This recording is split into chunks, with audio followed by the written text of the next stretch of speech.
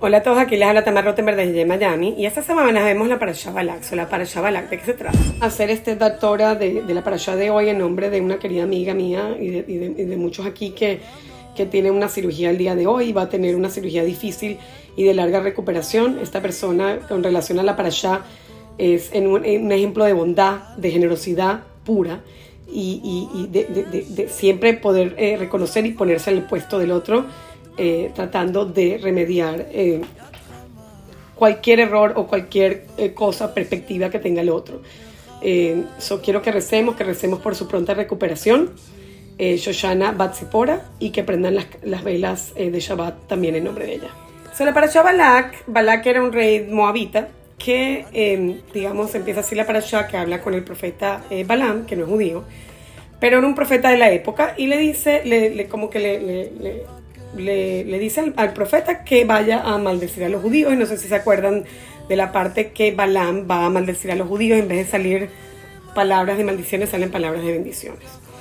Entonces lo que quería yo hablar acá es que dicen, o sea, que, que, que Balaam era una persona, o sea, el profeta, que era una persona malvada, unido. Pero si leemos la parasha no queda tan claro porque es una persona tan malvada. Eh, porque Dios habla con él y le dice, no vayas donde el rey, rey Moabita. Él va como que convence, le dice unas, unas cosas de convencimiento a Shem, Shem le dice, bueno, si tanto quieres ir, ve. Él termina yendo y él le dice, mira, yo voy a hacer lo que tú me estás diciendo, pero no estoy seguro que mi boca va a salir. Eh, Hashem controla mi boca y de mi boca van a salir las cosas que Hashem quiera, como diciendo, reconociendo a Hashem y tal, qué sé yo. Entonces, digamos, uno puede decir, bueno, no era una persona tan mala porque quería estar bien con el rey, qué sé yo, el rey le pidió algo y, y digamos que también se ve que quería a Hashem. Pero uno no puede estar bien con Dios y con el diablo, eso es un dicho, ¿verdad? Balaam, es, ¿por qué dicen que es evil? Porque dicen que, que es la, la, como que la, la, característica de él es la maldad. Porque te confunde. Eh, no solo te confunde, sino que manipula. Entonces, de, la maldad que tenía manipular, porque él quería como que mover, digamos, las piezas, sabiendo que Dios existe, eh, moviendo las piezas a su manera y a lo que le conviene a él. Cosa que Dios le dijo, no vayas, te digo que no vayas, él igual fue, lo trató de convencer, pero es que no había manera de, de persuadirlo para que no lo haga. O sea, como diciendo, yo tengo poderes, yo quiero ir a mis clientes, o sea, hacer lo que le pide el rey para estar bien con él, también con, el, con Hashem y con el diablo, digamos. Y, y después pasó lo que pasó, que dijo palabras en vez de maldición, bendiciones a todos los judíos. ¿Qué pasa? Que ahí dice, el que tú, o sea, la frase que dice, los que tú maldaci, eh, malde, maldecirás serán maldecidos y los que tú bendecirás serán bendecidos.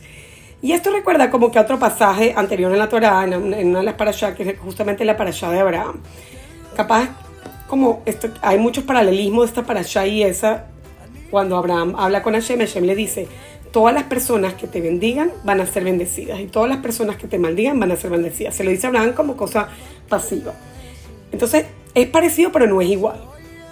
Lo de Balaam es que si él, que como que si él tuviera el poder y de hacerlo, lo que se va a hacer él, él va a ser cumplido porque él era un profeta tenía poderes, ¿no? Digamos. Y lo de Abraham es que es más pasivo, sino que reconociendo, como diciendo, Abraham es una gran persona y eh, los que lo van a maldecir van a ser maldecidos porque es una persona de bien y los que van a bendecir van a ser bendecidos como es algo pasivo, o sea, Abraham no tiene que hacer nada, en cambio Balaam sí. Y yo me pregunto, ¿por qué entonces, o sea, Dios dice esto y por qué Dios como que reflejando que Balaam tiene poderes y que él puede hacer, digamos, lo que él quiere y que se va a hacer lo que, lo que él dice por su boca. Pero en realidad, al final, sabemos que Dios le controla lo que dice, salen bendiciones. Quiere decir que él sabía bien quién era Balaam. Él, no, él dice, a mí no me vas a, a, a jugar eh, eh, otro camino. Yo sé que tú estás manipulando. Yo sé que, que, que, que tú después dijiste que tú sabías que yo iba a hacer bendiciones, pero en realidad tú hiciste algo que no debiste haber hecho y lo hizo con esa maldad de quedar, de, de, de esas personas que abusan, que, que, quieren quedar bien con todo el mundo, digamos, no, no, no de lo que es correcto, ¿verdad? Y esto nos enseña una lección muy especial. A veces nosotros nos acomodamos o nos queremos acomodar por comodidad. Eh, con, digamos, obviamente tenemos la Torah y la seguimos y decimos, bueno, pero yo, o sea, esto hay que hacerlo así o no tan así o yo no soy. Obviamente no, no, hay no es blanco y negro, siempre hay matices en el medio, pero reconozcamos, digamos, para nosotros mismos qué es lo que estamos haciendo bien y qué, y qué es lo que estamos haciendo mal sin, eh, digamos, mentirnos a nosotros mismos. Eso es lo que hacía Balaam, mentirse a sí mismo, que lo que él estaba haciendo era súper correcto. Que él estaba, digamos, Dios al final le dijo, lo dejó ir y Dios al final, y él dijo las maldiciones, pero salieron bendiciones, él está perfecto porque cometió algo malo.